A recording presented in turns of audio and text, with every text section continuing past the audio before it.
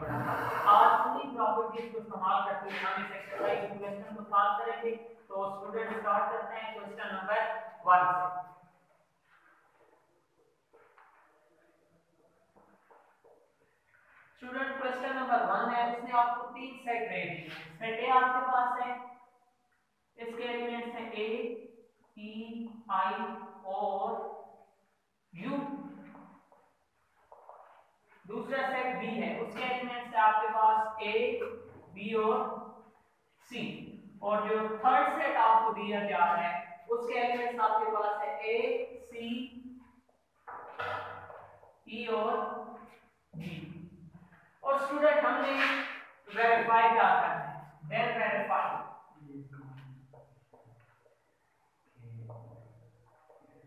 Then verify हमने मुख्तलिफ़ वो सिचुएशन दे रहा है कम्यूटेटिव क्लास दे रहा है associative commutative property associative property दे रहा है। हमने उस प्रॉपर्टीज़ को वेरीफाई करना है। तो स्टूडेंट पार्ट नंबर 1 आपके पास है। जो पहले हमने वेरीफाई करना है कि ए इंटरसेक्शन बी किसकी इक्वल होना चाहिए? बी इंटरसेक्शन ए की इक्वल होना चाहिए। स्टूडेंट आपको प्रीवियस लेक्चर में प्रीवियस टॉपिक में बताया गया था कि जब हमारे पास दो सेट होते हैं तो आपके पास कम्यूटेटिव प्रॉपर्टी होती है और ये आपके पास कम्यूटेटिव प्रॉपर्टी ऑफ़ इंटरसेक्शन है, क्यों क्योंकि इसके दरमियान इंटरसेक्शन का है। तो कम्यूटेटिव प्रॉपर्टी को जिस तरह से हमने वहाँ प्रूव किया था लेफ़्ट और राइट साइड की सूरत में, इसी तरह से हमें इसको यहाँ भी लेफ़्ट हैंड साइड और राइट हैंड साइड की सूरत से प्रूव करेंगे। तो स्टूडेंट मैं इसका सॉल्यूशन स्टार्ट करता हूँ। लेफ़्ट हैंड साइड आपके पास क्या है? ए इंटरसेक्शन बी स्टूडेंट पहले सेट ए एलिमेंट्स लिखते हैं। सेट ए एलिमेंट्स आपके पास है ए ई आई और यू इंटरसेक्शन का सिंबल सेट बी के एलिमेंट्स लिखते हैं। बी के एलिमेंट्स आपके पास है A B C student intersection में हम लोग क्या करते हैं? इंटरसेक्शन में दोनों सेटों में सेम एलिमेंट्स या दोनों सेटों के कॉमन एलिमेंट्स को लिखते हैं तो यहाँ पर देखिए दोनों में कॉमन आपके पास क्या आ रहा है? ए ए इधर ही है, अब ई है, इधर नहीं है बी इधर नहीं है सी इधर नहीं है तो दोनों में क्या कॉमन आ रहा है आपके पास? दोनों में सिर्फ़ आपके पास ए कॉमन आ रहा है। तो दोनों में जो कॉमन एलिमेंट है वो हमने इधर लिख दिए और ये आपके पास इक्वेशन वन हो गई है लेफ़्ट हैंड साइड हो गई है।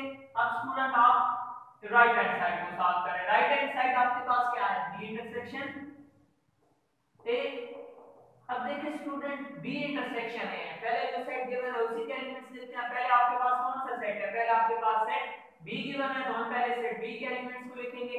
बी के एलिमेंट्स आपके पास क्या है? A B and C A B and C intersection बाद में हम सेट ए के एलिमेंट्स को लिख देंगे ए ई आई ओ और यू स्टूडेंट दोनों में इंटरसेक्शन में दोनों में से कॉमन एलिमेंट्स लेने होते हैं दोनों में कॉमन एलिमेंट क्या आ रहा है? दोनों में एक ही एलिमेंट कॉमन है ए और ए जो दोनों में आ रहा है। बाकी कोई एलिमेंट कॉमन नहीं है। तो इंटरसेक्शन के बाद आपके पास में ए ही कॉमन आ जाएगा ये आपके पास इक्वेशन 2 हो गई। स्टूडेंट देखें इक्वेशन 1 और इक्वेशन 2 दोनों का आंसर सेम आ गए। और यही हमें बताना था कि intersection B B intersection A के इक्वल प्रूव करें by equation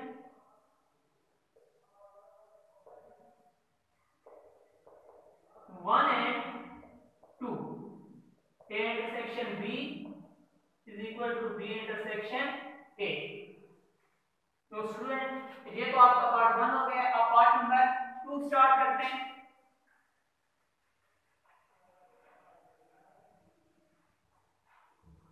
part number two आपके पास है।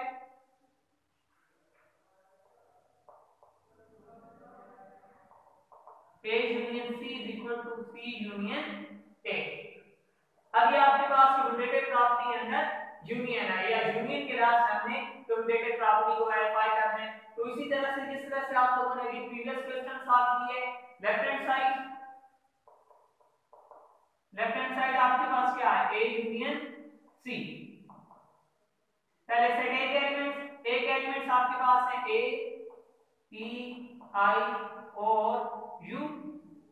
यूनियन सी के एलिमेंट सी के एलिमेंट आपके पास है ए सी ई और जी स्टूडेंट यूनियन में दोनों सेट्स के एलिमेंट्स को कॉमन लिखते हैं और जो element more than one time आ रहा है, उसे हम एक बार लिखेंगे। अब देखिए तरतीब दिन को लिख देंगे पहले आपके पास ए आ जाएगा, उसके बाद आपके पास सी आ जाएगा, उसके बाद ई आ जाएगा जी आई ओ और यू और ये आपके पास लेफ़्ट हैंड साइड का आंसर आ गया। अब स्टूडेंट आप इसी तरह से राइट हैंड साइड को सॉल्व करेंगे। राइट हैंड साइड आपके पास क्या है? राइट हैंड साइड आपके पास है सी यूनियन ए अब देखिए स्टूडेंट पहले आपके पास सेट सी है। तो हम पहले सेट सी के एलिमेंट्स को लिखेंगे। A C E ji union set ए के एलिमेंट्स लिखें ए के एलिमेंट्स आपके पास ए ई आई और यू यूनियन में स्टूडेंट दोनों सेटों के एलिमेंट्स को कॉमन लिखना होता है। और जो मोर देन वन टाइम आ रहा है, उसको हम सिर्फ़ एक बार लिखेंगे। तो उसको जब हम तरतीब में लिखेंगे तो आपके पास सेट ए सी ई जी आई ओ और यू आ जाएगा। ये आपके पास इक्वेशन 2 हो गई। अब स्टूडेंट देखिए इक्वेशन 1 और इक्वेशन 2 दोनों के आंसर आपके पास सेम है आ रहे हैं। हमने ये प्रूव करना था कि A union C C union A के इक्वल होना चाहिए। कि लेफ़्ट हैंड साइड और राइट हैंड साइड का आंसर आपस में इक्वल हो तो आपके पास अब एक स्टेटमेंट बन जाएगी। बाय इक्वेशन 1 एंड 2 देखिए स्टूडेंट इक्वेशन 1 और 2 से हमें क्या साबित हुआ है कि जो लेफ़्ट हैंड साइड है, वो राइट हैंड साइड के इक्वल आ गई by equation 1 and 2 A union C is equal to C union A और यही आपने प्रूव कर अब आगे स्टूडेंट एक और पार्ट इसका अटेम्प्ट करते हैं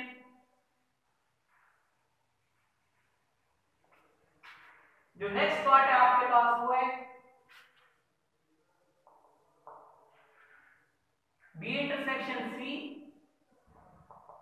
is equal to C intersection A अब इसी तरह से जिस तरह से प्रीवियस दोनों पार्ट सॉल्व किए लेफ़्ट हैंड साइड से हम लोग स्टार्ट करेंगे, पहले हम फाइंड करेंगे B intersection C set B के एलिमेंट्स को लिखें ए बी सी इंटरसेक्शन सी के एलिमेंट्स को लिखें। सी के एलिमेंट आपके पास ए सी ई और जी स्टूडेंट इंटरसेक्शन में हम लोगों ने क्या करना होता है? इंटरसेक्शन में हम लोगों ने दोनों सेटों में से कॉमन एलिमेंट या सेलेस एलिमेंट्स को लिखना होता है। अब देखिए स्टूडेंट इन दोनों में आपके पास क्या कॉमन है? इधर ए मौजूद है, इधर बी मौजूद है, इधर सी मौजूद है, इधर बी सी मौजूद है। तो ए और सी दो एलिमेंट्स है जो दोनों सेटों में कॉमन आ रहे हैं। तो आपके पास ये जो सेट होगा, ये क्या हो जाएगा? ए और सी आ जाएगा। ये आपकी इक्वेशन 1 होगी। अब हम राइट साइड को प्रूव करते हैं। राइट हैंड साइड आपके पास क्या है? सी इंटरसेक्शन ए अब आप पहले सेट सी के एलिमेंट्स को लिखेंगे। A C E ji intersection set ए क्या है सॉरी सी इंटरसेक्शन बी है आपके पास C intersection A C intersection B है तो अब देखिए बी इंटरसेक्शन सी तो हमने प्रूव कर लिया, उसके आपके पास जो आंसर आया है या रिज़ल्ट आया वो आपके पास आया है ए और सी अब हमने राइट हैंड साइड प्रूव कर है राइट हैंड साइड आपके पास क्या है? सी इंटरसेक्शन बी है हमने पहले सेट सी के एलिमेंट्स लिख दिए हैं ए सी ई और जी इंटरसेक्शन का सिंबल बाद में हम सेट बी के एलिमेंट्स लिखते हैं बी के एलिमेंट्स आपके पास क्या है? ए बी और सी है।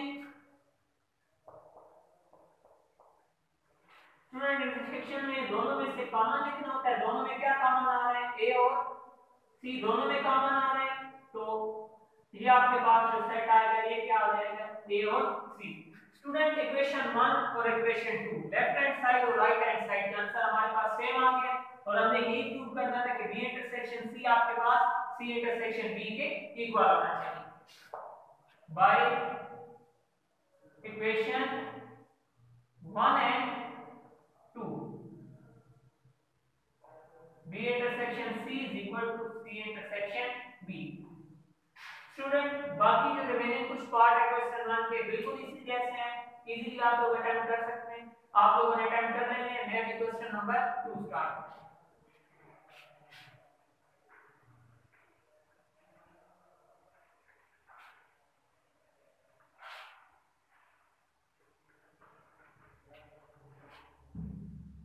student question number two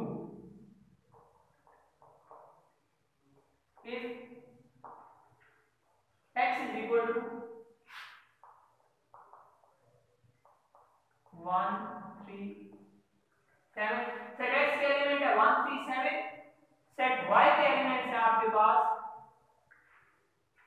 2 3 5 2 3 and 5 और जो लास्ट सेट है वो आपके पास z. और सेट z के एलिमेंट्स है आपके पास 1 4 और 8 और हमने क्या वेरीफाई करना है स्टूडेंट इसमें then verify that जो क्वेश्चन टू का पार्ट वन है x intersection y intersection z is equal to x intersection y. Intersection z. Student तीन सेट आ गए। अगर आपके पास तीन सेट हो तो आपके पास कौन सी प्रॉपर्टी होती है? वो आपके पास एसोसिएटिव प्रॉपर्टी होती है।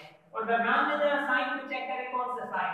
इंटरसेक्शन का साइन है तो ये एसोसिएटिव प्रॉपर्टी ऑफ़ इंटरसेक्शन तो स्टूडेंट इसी तरह से स्टार्ट करते हैं। लेफ़्ट हैंड साइड आप लेंगे। लेफ़्ट हैंड साइड आपके पास क्या है? X intersection y intersection z. पहले सेट x के एलिमेंट लिखते हैं सेट x के एलिमेंट आपके पास है 1 3 एंड सेवन इंटरसेक्शन में साइन है देखिए स्टूडेंट y और z की गेट उसने एक ब्रैकेट लगाई है। तो हम भी ब्रैकेट लगा देंगे। अब ब्रैकेट के अंदर y के एलिमेंट्स को लिख देंगे। 2 3 5 इंटरसेक्शन का सिंबल और बाद में किसके एलिमेंट्स को लिख देंगे? Z के एलिमेंट्स को लिख देंगे। 1 4 और 8 ब्रैकेट क्लोज देंगे 1 3 7 इंटरसेक्शन ब्रैकेट स्टूडेंट इंटरसेक्शन में दोनों सेटों में कॉमन एलिमेंट्स लिखने होते हैं। ये आपके पास 2 3 और 5 का सेट है। ये आपके पास 1 4 और 8 का सेट है। क्या हमें कॉमन आ रहा है? देखिए हमें कोई एलिमेंट भी आपस में कॉमन नहीं आ रहा। अगर कोई दो सेटों में कोई एलिमेंट कॉमन ना हो इंटरसेक्शन हो तो आपको क्या लिखेंगे? रिज़ल्ट आपके पास एम्प्टी सेट आ जाएगा। तो ये आपके पास इसका आंसर है, आपके पास क्या आ जाएगा? एम्प्टी सेट आ जाएगा अब स्टूडेंट नेक्स्ट स्टेप पे हमने इस सेट को यानी सेट x के एलिमेंट्स को, ये जो इन दो सेट्स का आंसर आया है 20 सेट है, उसके साथ इंटरसेक्ट करना है। अब देखिए स्टूडेंट इस सेट के एलिमेंट्स ही नहीं। तो इंटरसेक्शन जब इंटरसेक्शन करेंगे एम्प्टी सेट जब इसके साथ इंटरसेक्ट होगा तो आपके पास आंसर एम्प्टी आ जाएगा। तो ये स्टूडेंट आपके पास इसकी लेफ़्ट हैंड साइड सॉल्व हो गई है। अब हम सॉल्व करेंगे right hand side student right hand side आपके पास क्या है? X intersection y intersection z. अब इसी तरह से ब्रैकेट शुरू करें। सेट x के एलिमेंट्स लेते हैं x के एलिमेंट आपके पास है 1 3 एंड 7 इंटरसेक्शन सेट y के एलिमेंट्स हैं y के एलिमेंट है 2 3 एंड 5 ब्रैकेट क्लोज इंटरसेक्शन का सिंबल z के एलिमेंट्स लिखते हैं। 1 4 एंड 8 स्टूडेंट इंटरसेक्शन में हम कॉमन एलिमेंट्स लेते हैं। इन दोनों में कॉमन क्या आ रहा है? 3 एंड 3 दोनों में कॉमन है तो इंटरसेक्शन का जो रिज़ल्ट आएगा, आपके पास कौन सा सेट आ जाएगा? 3 आ जाएगा अब ये दो सेट सॉल्व हो गए इनका आंसर आपके पास 3 आ गया? अब ये इंटरसेक्शन का सिंबल और ये सेट एज इट इज़ अभी यहाँ नीचे आ जाएगा 1 4 एंड 8 स्टूडेंट देखिए, एक सेट में आपके पास 3 है दूसरे में 1 4 और 8 है। इंटरसेक्शन में कोई नंबर कॉमन आ रहा है? नहीं आ रहा। तो आपके पास रिजल्टेंट सेट क्या आ जाएगा? एम्प्टी आ जाएगा और ये आपकी इक्वेशन 2 स्टूडेंट जरा चेक करें। इक्वेशन 1 का आंसर भी एम्प्टी सेट है इक्वेशन 2 का आंसर भी एम्प्टी सेट है। तो दोनों का आंसर सेम हो गया। हमें ये प्रूव करना था। तो आप लोग नीचे एक स्टेटमेंट लिख देंगे by equation 1 and two. X intersection whole intersection B equal to bracket X intersection Y intersection B तो स्टूडेंट जो सेकंड पार्ट है आपका इस क्वेश्चन का, बिल्कुल इसी जैसे है। यूनियन है, किसी भी आप लोग अटेम्प्ट कर लेंगे। आज के लिए यही टॉपिक काफ़ी है और नेक्स्ट हम लोग इंशाल्लाह नेक्स्ट क्वेश्चन स्टार्ट करेंगे, इसके अच्छे से रिवीजन करें और इसको टेस्ट के लिए अच्छी तरह से प्रिपेयर करें। ओके